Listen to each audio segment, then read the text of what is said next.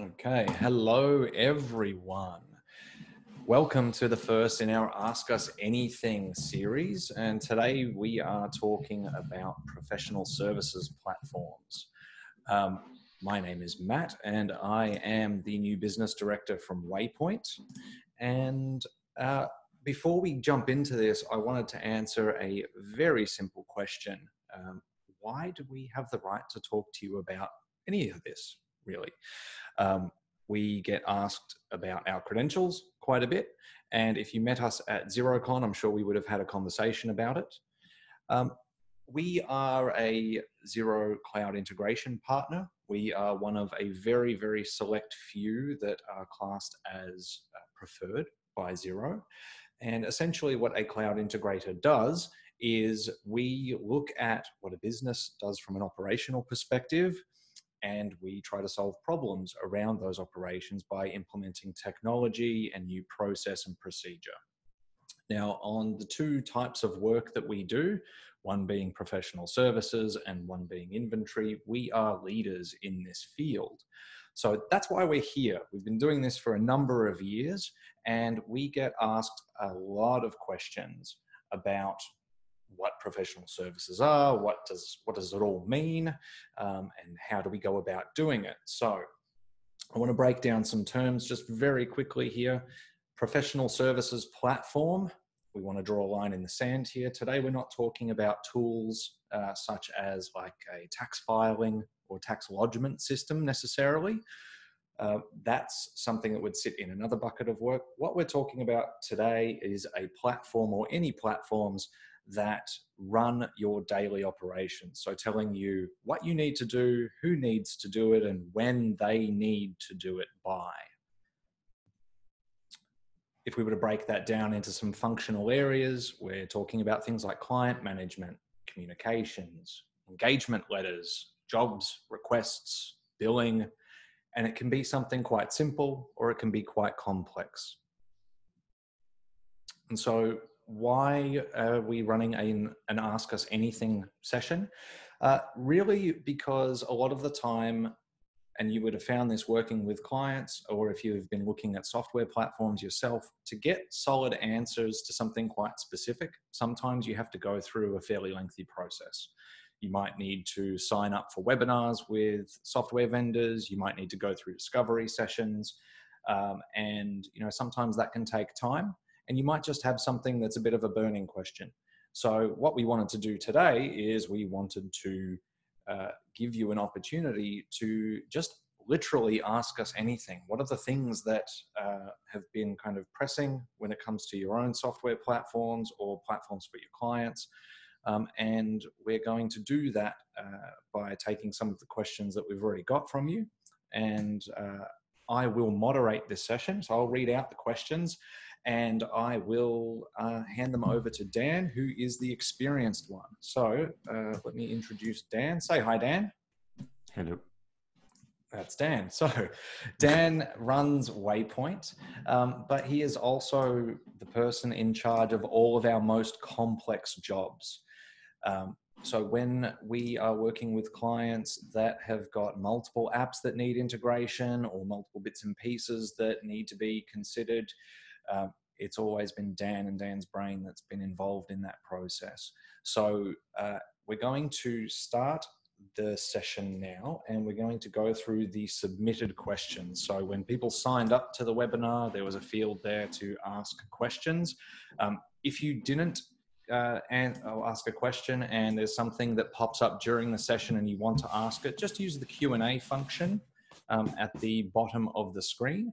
And uh, we will ask that after we get through the list of submitted questions. All right, so Dan, how are you doing? Good, good, good. Ready to roll? Far away. All right, so uh, we've got a couple of questions here about uh, industries. So the first one is what are the differences between professional services platforms in different types of industries? Okay, so um, I, I, might flip that question in reverse, typically, um, and talk a little bit about what's what's the same about different industries because um, that's something that people focus on um, quite a bit. So, professional services is uh, essentially anyone selling selling people or selling time. So, accountants, bookkeepers, um, architects, town planners, people in construction, consultants, anyone Design where agencies. The, the value is based on someone's time. Um, differences between professional services platforms and differences between different industries tend to be quite bespoke to uh, probably more than anything accreditation or something that's accredited. So, taking us for example, like we're consultants, um, we work with accountants, we've worked with agencies, we've worked with other consultants and similar. The 80% of what we do is the same. So we have hourly rates, we have wages and overheads, um, we have projects and budgets. Lots of times the difference is, is the last little piece of output, like we're providing clients a system, accountants might be providing clients reports, compliance, or similar.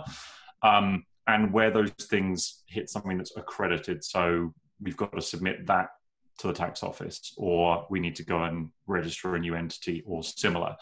Um, a lot of uh, professional services platforms actually don't consider that last part because I suppose the addressable market is bigger if you say we we can operate in industries that are anything professional services. You've got a lot higher addressable market than just saying we work with five person accounting firms in this town whose name starts with A.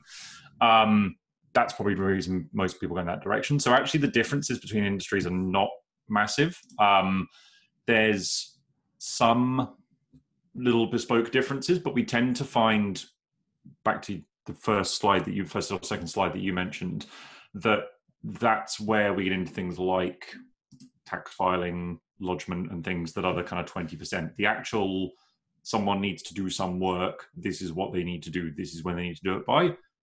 I don't think there's any real difference based on what you're doing, providing the fact that you're selling time and selling people per se. Yeah. So that then leads on to the second question. I think you may have answered it, uh, which is, you know, we're an accounting firm. Should we be looking for something industry specific, or is there a benefit to generalist apps?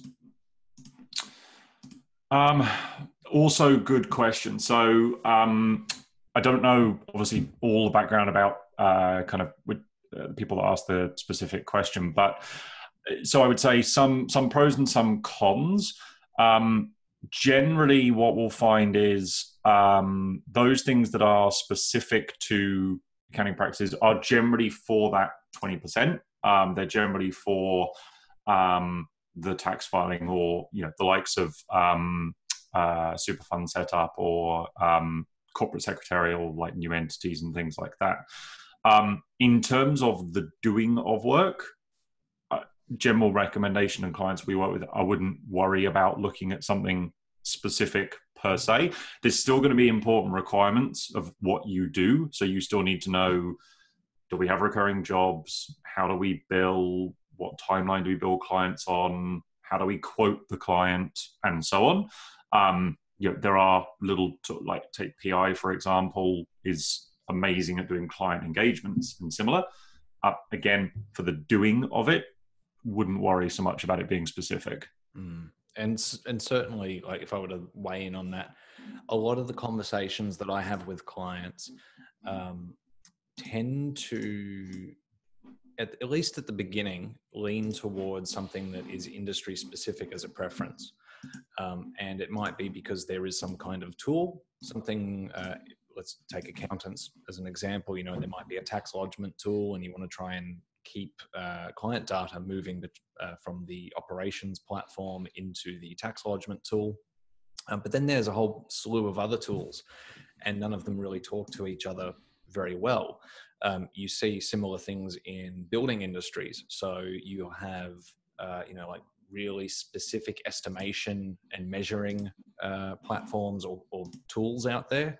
Um, and so there tends to be a desire to uh, have a industry specific professional services platform uh, with the hope, I guess, that it might integrate to one or two of these tools that you might use. But what I found uh, with working client with clients over the years is once we start breaking down just how many tools there are in the business to get things done um, it's always more than that one or two. And sometimes the process is greater than oh, sorry the process requirements and the ability to create some real structural change and benefit there is greater than the number of apps that you want to connect to.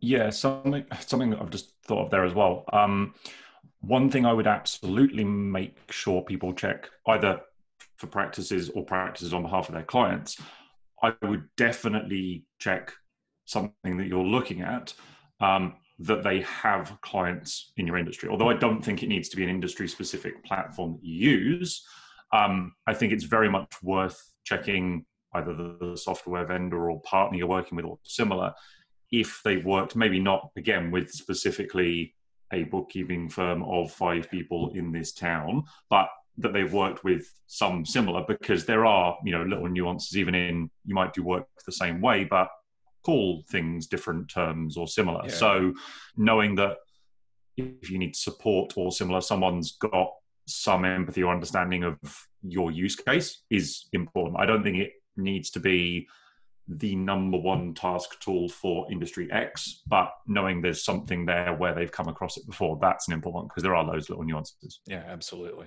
Absolutely. Um, all right. So I think that we've answered that one pretty well. Uh, let's move on. So we've got some questions here.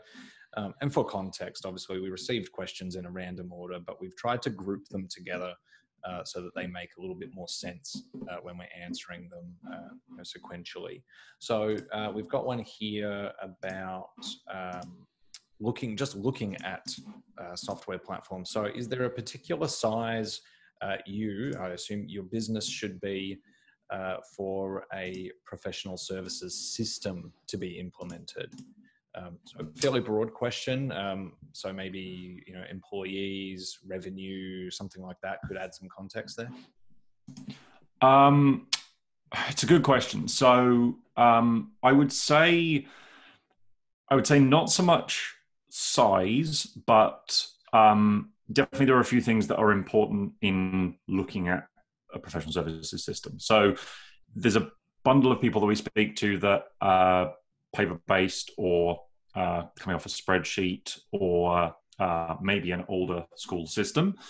Um, I would say we've had clients that are one employee up to 150 employees and they've used similar systems before what i'd look at more than anything is making sure probably two things um, not so much the size of the business but making sure you've got resource on your side. It might be that you've got an employee or two and aims to put more people on and systemize what you're doing, providing one of those one or two people has some resource to take on a change and ideally some kind of understanding of the business and similar. Mm. that's probably the more important thing. I wouldn't worry so much. Most systems are user specific or come in user block. so in other words if you're using five users, you pay a different price to if you're using 20 or 100 or similar. So you shouldn't find a need to suddenly have, you know, you've got five employees, you're going to be paying five grand a month for the system. Um, definitely, though, uh, you know, kind of goes without saying what we do, but you get in what, sorry, you, you get out what you put in. Um, so I definitely make sure where I've seen people struggle in the past is not so much that they are small and therefore don't get the benefit. But they're small, everyone's wearing a thousand hats, no one can take on learning something new um, and similar. That's probably the biggest um, flag I would say is more resource based than the, the business. Business wise, you know, um, may well be if you're at the, the smaller end of revenue, you may not have as much opportunity to like use a professional or similar, you may then have to put more resource into this. Um, but otherwise, you know, most of the systems that we work with that we see clients using are, you know, anywhere from ten to hundred dollars a user a month. That's not difficult. You know, that's at a maximum probably half of someone's hourly rate for one hour. So, yeah. I don't I don't think there's a minimum per se, but definitely the initial project side, I'd watch for that. That's that's yeah. really important.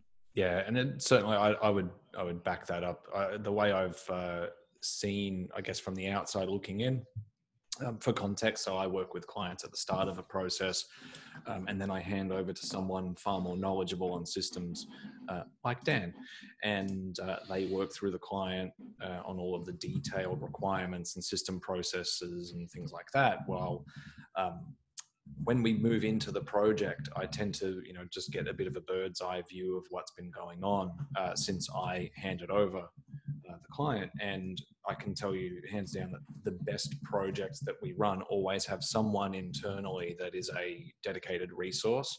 Um, it also helps frame the requirements because, you know, if we walk into a if we walk into a business and just start asking questions about how you do things, and we've got ten people in the room um, but no one is the designated kind of project leader.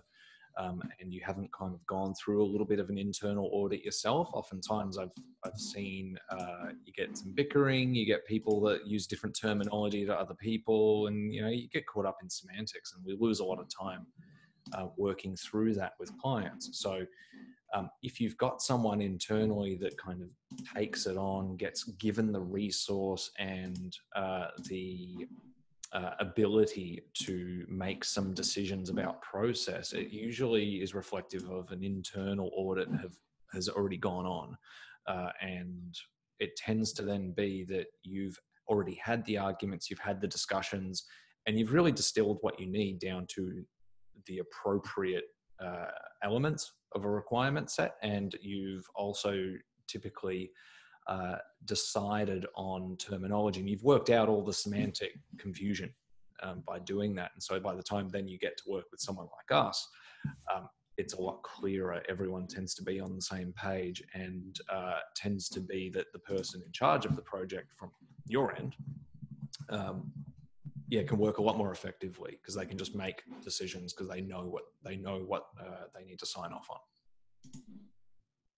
Um, I think between the two of us, we've also answered another question. So it was just about uh, the amount of resource uh, that we need to set up a professional services system. But uh, maybe we could talk a little bit more uh, about the actual projects themselves. So we've talked a bit about uh, scoping it out and you know having a project leader, but you know, maybe we talk about the time actually doing setups.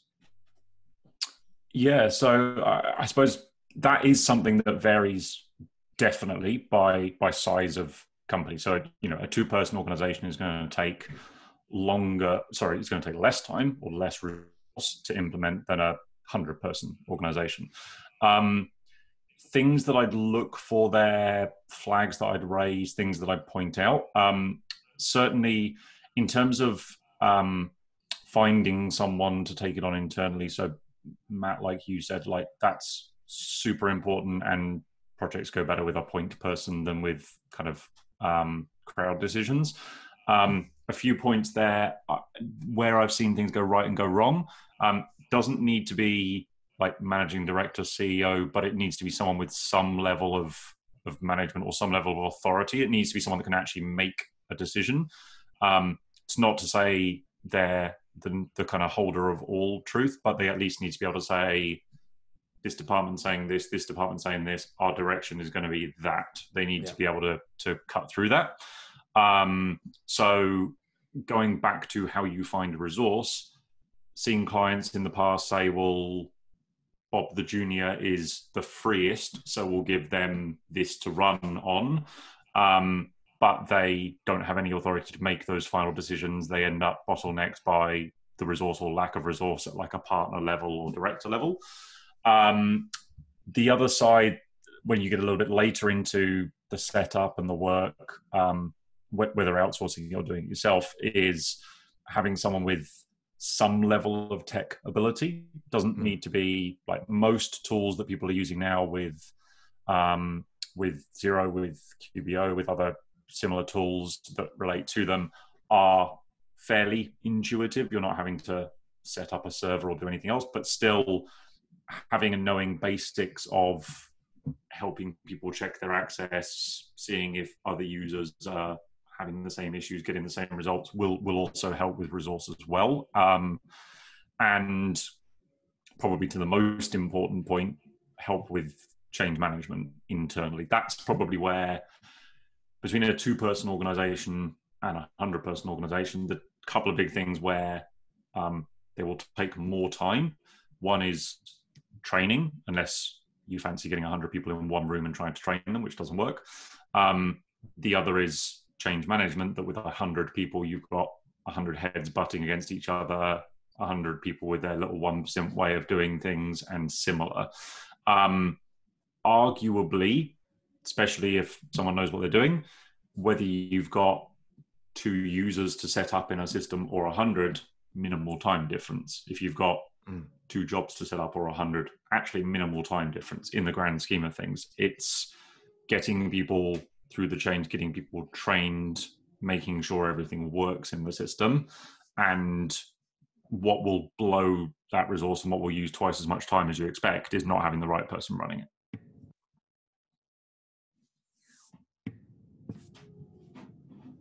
Okay, and so that that actually raises a question then about seeking assistance.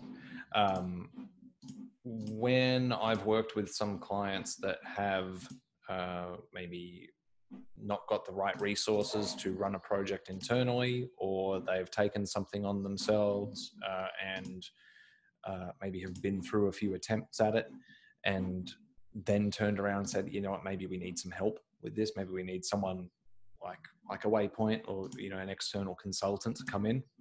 Um, I've seen that a few times, quite a few times over the years. I'm sure you have as well.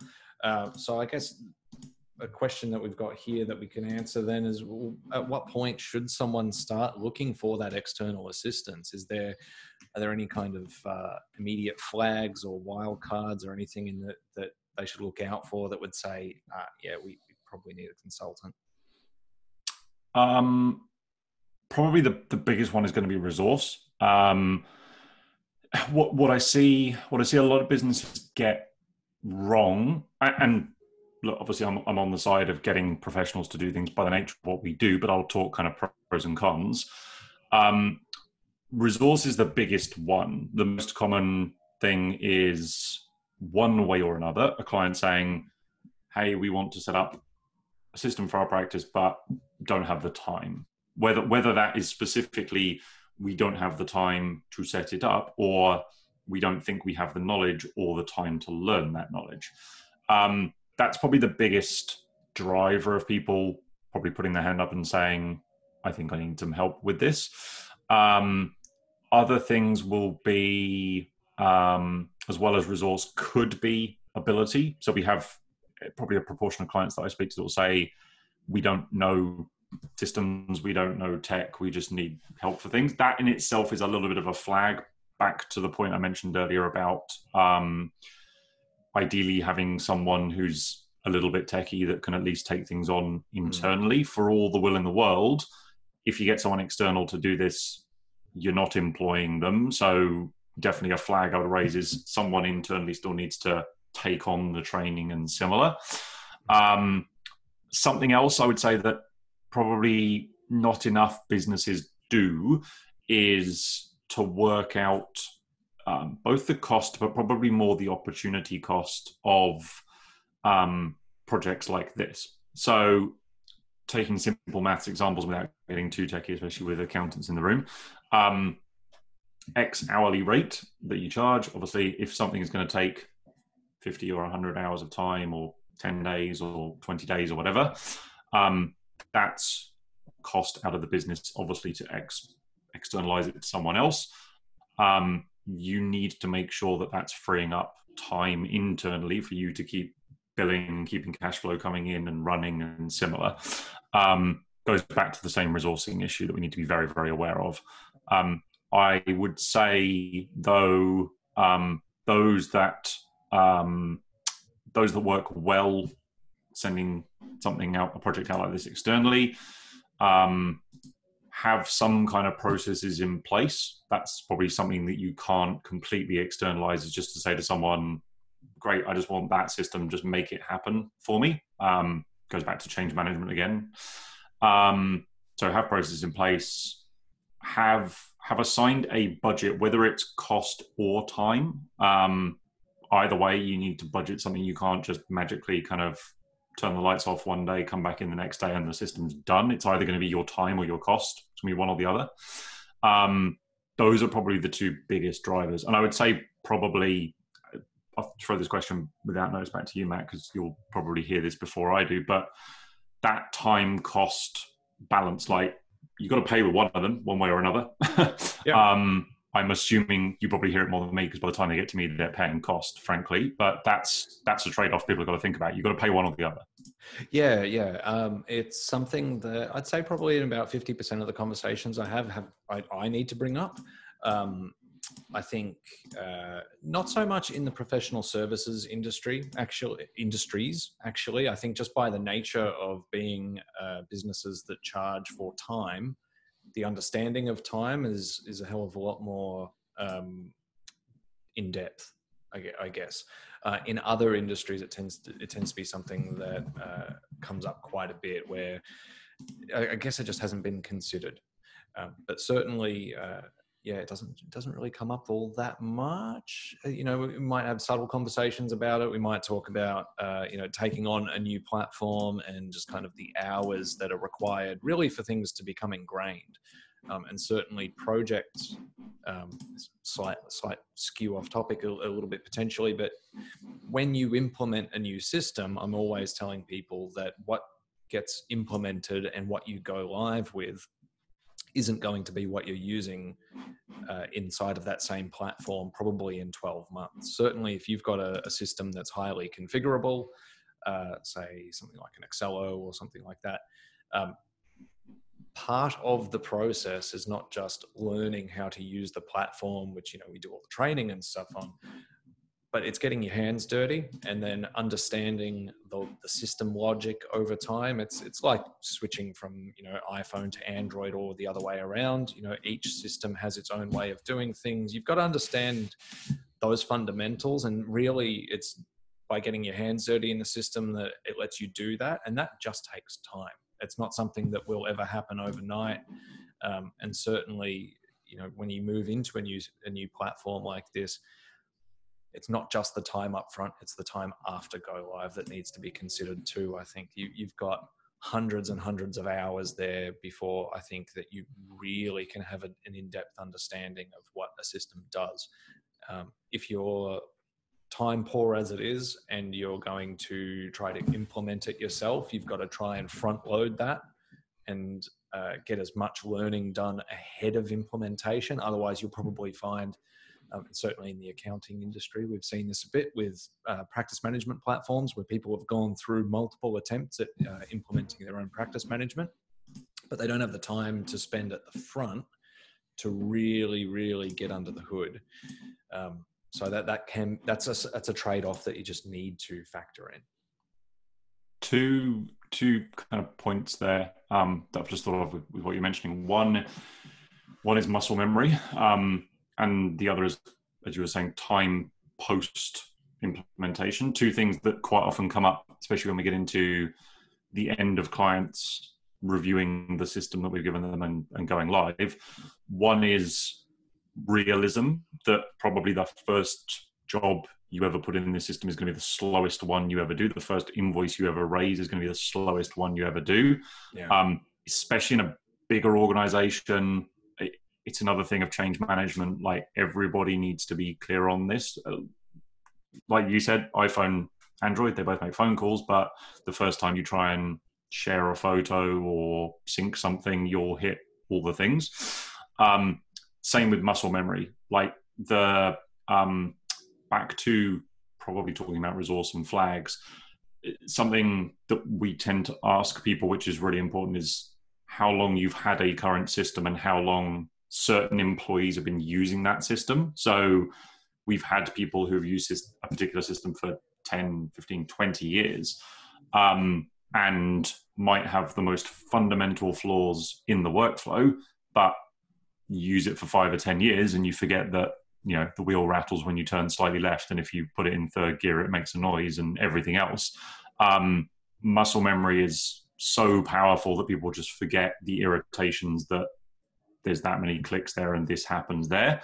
And it can completely knock people off when they're in a new system if they don't know why and how and similar. So, um, certainly in terms of a couple of points you're making there about the system not being as it is on day one and, and improving as you go, there are two other big things yeah. for um, doing things yourself and two other big flags. Um, all right, we're about halfway, so I'm just going to take the moment to remind the participants in the room that uh, if you have questions that have come up uh, based on what Dan and I have discussed, please do throw them into the Q&A box down below and we will answer them shortly. Um, the next question I've got here, I think is actually about an, a platform specifically. So uh, what do you know about expert systems? Um, in title case. Now that rings a bell. I think it is actually a platform. Are you familiar with it? Um, there was so I saw this question when it came in. Um, for the sake of uh, other participants, there was a little video with the, the system, but essentially the concept here was um, uh, an attempt that someone had made basically to kind of self-design a what I believe they're calling an expert system. So in other words, saying look like a, a, a CA or a CPA accounting practice, but essentially getting a simple workflow tool. So the kind of checklist almost like do this, do this, do this, do this. So new tax, um, new, uh, new individual tax return comes in. We need to check top line figures, tick. We need to confirm super funds, tick, and so on and so forth. Um, I think looking at the video, it had been done in like even Microsoft Access or some database or similar. Um, I, want, I wanted to answer it for two reasons. One, so that the person that submitted it got the answer, but also it brings up a really interesting point that um, this was something that it looked like the practice had just built themselves just to have less paper in the office. So rather than having tick boxes on um, uh, like a almost like a check sheet that lots of accounting practices do, like a new client checklist or a form or similar. Um, they built little processes to have this digitized, and so they can record: did we do all the things we need to do? Um, I'd suspect it was probably costing them nothing once it was set up. Um, personally, I love that approach, especially as a starter from paper, because it teaches you a ton of things about process and logic. So paper and spreadsheets and documents and things like that are ubiquitous and they're kind of the best of things and the worst of things. So they're the best of things in that you have a checklist document, you can just fill it out. No one needs teaching how to use a Word document or similar. They're kind of the worst of things because you have no set process, you have no um, rules or anything else. So this time, if we don't need to do that thing or I want to change this piece of text, whatever, you just delete it, get rid of it, and every process falls slightly different. Um, similar to what we were talking about with, with resource, um, where clients have set up systems well or have worked well or similar is that they have the process or processes already there or at least documented or drafted and the system um, wraps around them. So two different things, system and process. Um, in that kind of case, I think going um, going through and getting something together, whether it's whether it is a spreadsheet, whether it's a little database, whatever, having something like that puts you, I would say, on a better footing to then say, cool, I'm going to get a system that will make this easier by firing notifications and having dependencies and telling me if things fall overdue and similar um, having no set processes or similar and saying, cool, this amazing system. There's all the analogies in the world that people use of like, cool, someone could give you a Formula One car. It doesn't mean you're going to be able to drive it at 300 miles an hour. Um, I definitely, uh, I, I like the approach of having base system first and getting processes at least set um, versus going from nothing per se and mm. trying to just throw everything straight into a system and just imagining it's going to basically run your business for you. Yeah, yeah. I'd, I'd add to that. Um, in some of the conversations I've had in the past, that uh, oftentimes when a business has gone through new ownership, new change of uh, management, or something like that, there can be a scenario where someone quite tech savvy comes into the business, and particularly if the business is running on pen, paper, spreadsheets, um, you know, fairly ubiquitous but rudimentary tools. Um, unless the whole staff change over at the same time, going from zero to 100 in some like big whiz bang system can be quite difficult. Um, the change management has to extend beyond uh, the management of the business. The people using the tools and whatnot need to have some of this stuff ironed out. And certainly, if they're if they're not uh, using anything that is complex by nature, if they're if they're used to just simple checklists and things like that, even if it is uh, even if it is just in a custom made database application, already that tends to put them definitely, as you said, on a better footing to move forward into something that is more complicated. Um, you know, there's already there's a couple of, of button press, system logic, things like that. There's a couple of um, it's slightly out of left field. There's a couple of like startup type um, analogies and pieces of logic that you can kind of use here. And it, it tends to be alien to a lot of professional services businesses and without prejudice, especially accredited ones like accounting, law, things like that. Um, one which we've had a couple of clients do previously is a kind of fail fast approach. So if mistakes are going to happen, if a system's not going to work, if, if whatever, know that quickly. So that's where almost having like something like you said, you know, spreadsheet or tick box or similar that at least can say, cool, the process works, that someone comes in the door, we get their information, we file individual tax return, we send them the work papers and so on. Um, you know that without having a thousand dollar a month system, without spending an absolute fortune, without going through that part. Um, yeah. Conversely, uh, we've seen in the past where people will blur the lines and not always know when then when looking at a new system if you're changing the system and the process at the same time does the system fail at this point or does the process fail at this point? Yeah. you, you have no way of knowing that. If you're changing everything at the same time you've got no way of finding where that point's coming from. They're two really really useful things. A couple of clients um, have uh, actually done some interesting things previously where they'll almost take where we talk about changing process because every system handles things slightly differently. Go back to car analogy before, like mute button for the radio will be in a different place. This will be in a mm. different place. Um, they'll change some of that in the current system. So they'll do that first to kind of get people used to how it will have to be done. Um, to help avoid having to do everything at once, if that makes sense. That's yeah. there's two two or three things you can do. There's a ton of stuff that you can do. There's two or three good little tips to reduce risk as much as possible um, within these kind of processes. Yeah. Cool. Um, all right. So we've got a couple of questions here uh, that look specific to the accounting industry. Uh, so uh, someone has asked here, what work tools should be integrated to our platform? Uh, what's reasonable to expect? My clients can run their whole business from one or two apps, but our practice tends to have about 10 or 12. Mm, okay.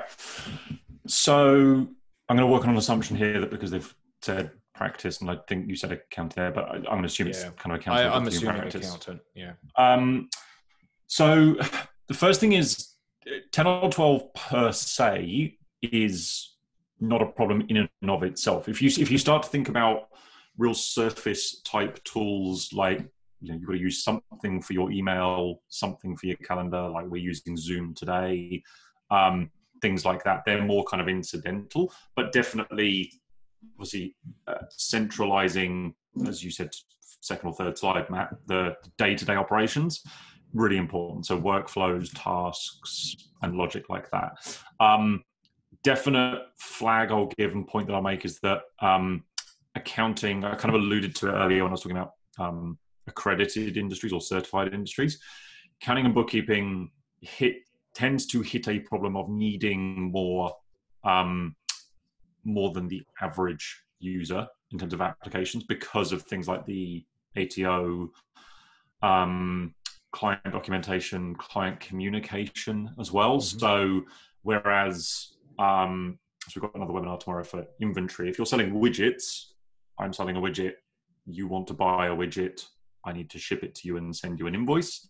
Um, especially when we then talk about accounting practices, I may then need to set up an entity for you or submit something to the ATO or make payments on behalf. And unfortunately, a lot of these cases, you can only go as fast as the slowest carriage on the train. And hopefully there's no representatives on the call, but the ATO here or any government organization is the slowest carriage on the train. Mm. So we tend to find that there's a lot of platform, more task orientated workflow platforms that can't integrate to get information out of the ATO. They're very restrictive on what you can send and receive for you know security reasons. Um, so we tend to find that means there are more applications because you'll there'll be something for you know even at the moment I know there's individual information can come through MyGov, can come electronic uh, electronically through post, through um, the ATO portal, yada yada yada. Um, so per se, I wouldn't worry about having more than some of your clients may, but I certainly make sure, at least in the in the core of what you do, which is tracking your time, billing for your time, sending clients quote, getting approval, getting paid. I'd make sure at least that is as centralized as possible. Then the getting a super fund, submitting tax, doing that stuff, that's kind of by the by. Yeah. Um, but that's definitely one. I know the ATO's got digital. Um, oh, crap, I forget the name every time. Digital providers, I think they're called that they're yeah. certifying now. So probably more applications like you know Xero can submit more things to the ATO. I'm hopeful there'll be more things like to get client communication and documentation. There's more in the UK and the US. Um, hopefully, it comes soon. Um, central workflow I'd make sure is is as singular as possible. Yeah, yeah. All right. Um, we've got a question now. This one is definitely for the accounting industry. Um, it's quite funny. Uh, our partners are focused on profitability reporting, but our time tracking tools are redacted. Let's just say old, and, old and clunky. Uh, how do we address this? Uh, that's that's a people. That's a bit of a people issue. Um, mm, yeah, there's probably respects. two. There's probably two parts there. So um, time tracking tools being crap um, is not unheard of in a lot of places. I, I I put this somewhere. So back to the point earlier about um, uh, where I talked about if you change a process and change a system at the same time, be careful which one is is working or not working. Um, I kind of say similar here. So I've heard lots of times from people who will say um, the time tracking we use is really antiquated. So you know you have there's lots of clicks, or it's not easy to find a job, or whatever it might be. Um, and they look at some new options and demo them or similar, and uh, love the look of hey, I can start and stop a timer. I can um, automatically track based on you know location. Um, I can have calendar events, all, all the things that make them easier. And I would argue 80% of the time they don't see the improvement they perceive because people hate doing the timesheets, basically. Mm. Um, I'm not, we could spend a whole other hour. I'm not going to get into here the kind of merits of value pricing and time tracking and, and so on and so forth. But um, I, I definitely would look for tools that can make it as easy as possible for people. There's going to be things that people never like doing in business. People never really like chasing debt, um, doing cold sales, doing timesheets, those kinds of things. Um, they're always going to be an irritation, frankly. Um, there are things that you can look at to make it easier. Um, it's always difficult here as well because there's a bit of a, by the sound of the question anyway, um, there's a bit of a mismatch. So uh, I haven't got the question back in front of me, but it sounded like kind of the people doing the time tracking don't like the tool, it's antiquated, etc. The Mm. partners want reporting, and these are two people at, or two areas of people at quite different levels, and that's that's something that we get um, more broadly as well. Is partners, managers, C level people want one thing, usually more broad, more overview. People, especially those time tracking and that have KPIs and bonuses and things, just want to do their work as quickly and easily as possible. Mm. Um, uh, it's another point why the key person and who you pick as that key person is important and needs to have some kind of mandate because they can be a good conduit between those. Like this is why it matters, not because we're watching what you track and how you do it and everything else, but we need to know when we're giving you 10 minutes to do that job, you can't do it in that time. It's not Yeah. feasible or similar. Um, I would argue somewhat controversially that none of that question is a system thing. More, I, I'm glad it got asked because it's a really important one, but I think I've barely ever seen a timesheeting problem fixed by a different system. Yeah, yeah. I, I, I can give two two examples. One of them in the accounting industry. Um, so similar scenario actually, uh, but I guess the the problem in this case came down to it wasn't the partners aren't actually the ones that need to do any of the timesheet entries. The partners, um, the senior partners anyway, that uh, everything needed to go through still use just pen and paper notes and basically they're throwing they're still working with clients but you know they're, they're kind of living living that uh, managing director life or that senior partner life you know and they're uh, doing their work. They're just taking very brief notes on a pen and paper and then they're throwing it at someone junior in the business and they clean it up. They do all the timesheet entries. They do everything for them. So uh, for those partners, it's all about just seeing how profitable the business is because they're getting paid anyway. Um, so one of the one of the questions I guess I ask in that scenario is like, well, okay, do the partners actually take the responsibility for their own time entries? Um, what I've tended to find is in any business where the senior people are doing the same things on a daily basis as the junior people, um, if a problem is there, it'll get addressed. Um, and in another industry, so in digital, uh, like digital agencies and stuff like that, uh, we, I can think of an example where uh, we actually didn't win the job. We lost, we lost the opportunity, uh, and it came down to financial reporting.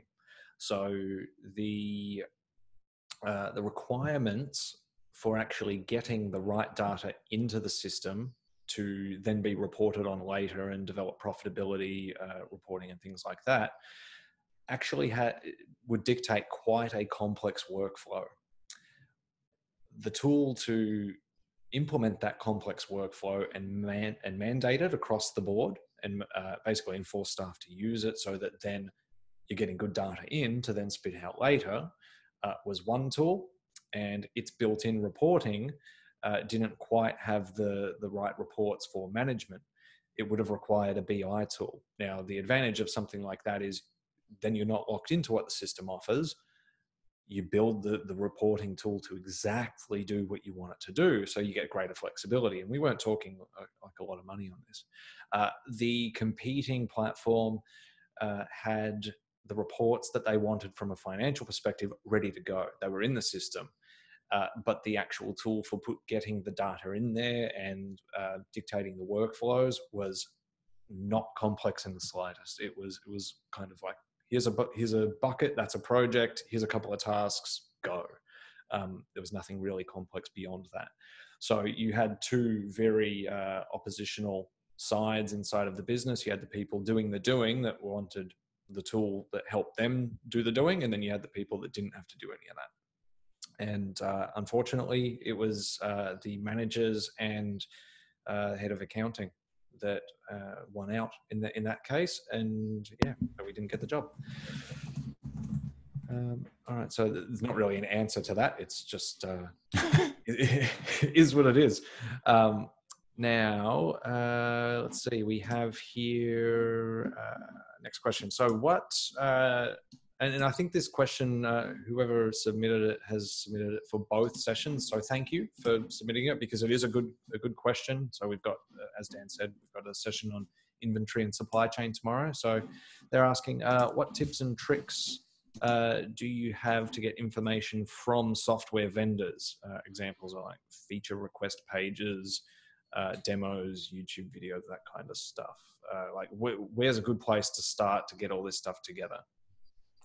Uh, cool. Okay. Um, so there's this is always an interesting one, and it and it kind of goes back to um, various points that we've made about knowing your process, um, knowing um, how you handle certain things, um, making sure those first. So various things.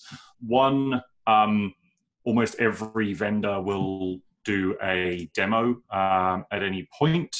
Um, so most uh, most vendors will uh, do a demo. Some will have static demos on the website. So here's a 20 minute video of walking around the system. Um, almost all of them will do demos for you. A couple of things I'd recommend or potentially look out for there. One is I would expect you to be asked some questions before there's a demo. At a, at a worst case, at least your industry, your size. Um, and some vendors will ask like a key pain point or something along those lines. Um, if it's generic to the point of here's a screen for a job, here's the screen for an invoice, I don't really see the benefit. Um, kind of goes back to that point as, as, well earlier about finding out if they've got um, clients in your industry and similar. Um, I would definitely look at um, like peer reviews. I would be careful of um, peer groups. They can be incredibly useful. Um, we've got some really good stuff from them before, like Facebook groups and LinkedIn groups and similar. I'd be careful of the throwaway questions along the lines of um, this is more if you're looking for clients, but like I need a point of sale for my client. And everyone has a client that's used one somewhere in different industries, different sizes, different logic. Um, something if you've got processes fairly tight um, uh, or a pretty good idea of what you're looking for. A um, couple of really good tricks are to check. So um, most uh, vendors will have help files, um, which you can access online. You sometimes have to Google them; they're not on the homepage. Um, some of them will also have their feature requests. This is mainly like SaaS web providers. Um, some of them will hide them, kind of understandably, because if they're getting feature requests, they kind of want them from people that are actually using the system that they can tell what industry they're in, how they're using the system, rather than just people throwing in that are never going to pay, frankly. Yeah. Um, but you can nearly always ask, and I would ask people like, what's the top three to five requested features because there'll be things that you know no website's going to tell you the stuff the system doesn't do. Um, i and same like with us if people ask us that about a system it, it's generally on the first call we'll we'll kind of tick them off to make sure we're not going down a path the wrong way. Mm-hmm. um, if I, also watch out if anything is behind a paywall. So if vendors don't have payment information on their website, it usually means it's either expensive or price on application and tends to be kind of maybe not made up, but um, subjective. There's no reason a vendor shouldn't be able to have a per user price, maybe with um, some changes if you need little extra modules or similar. Um, I definitely look at that. Goes back to an earlier point as well.